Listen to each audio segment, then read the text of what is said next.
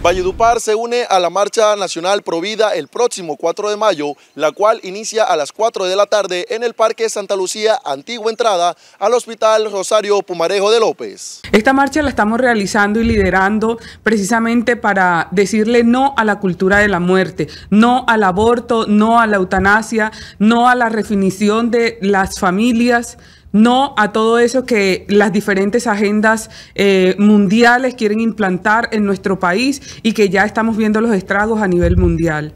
Es necesario que nos unamos todos los vallenatos a esta marcha para decirle no al aborto, no a la eutanasia y a la redefinición de la familia, porque la cultura de la muerte quiere permear nuestra sociedad de tal manera que ah, matemos a los más indefensos, a los niños. Por eso te invito a ti que me escuchas en este momento a que alcemos, que te unas ese, ese día por los que no tienen voz.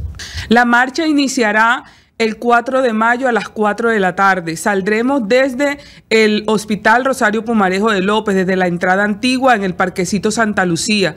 Marcharemos por toda la Avenida Los Militares hasta llegar al Parque Garupal, donde tendremos un acto simbólico, un concierto por la vida. Más de, más de 70 ciudades se han unido a esta causa, que nosotros no seamos la excepción. Nos hemos unido con las diferentes denominaciones cristianas, con las fundaciones, ONGs, con, todo tipo de público para que ese día podamos marchar y decirle sí a la vida. Rechazamos el aborto porque en el vientre materno, desde el primer momento en que el, óvulo y el espermatozoide se une, hay una vida, hay una explosión de vida. Por lo tanto, hay un ser que ya es una persona y que hay que defender, que hay que amar y que hay que cuidar.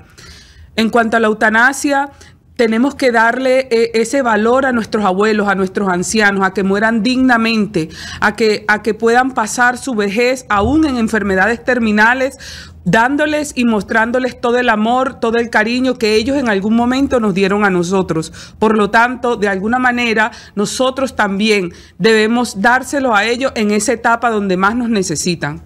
Finalmente queremos invitarte a marchar, no nos quedemos en casa, salgamos a las calles, alcemos nuestra voz. Este 4 de mayo eh, partirá la marcha desde la, desde la antigua entrada del Hospital Rosario Pumarejo de López en el Parquecito Santa Lucía.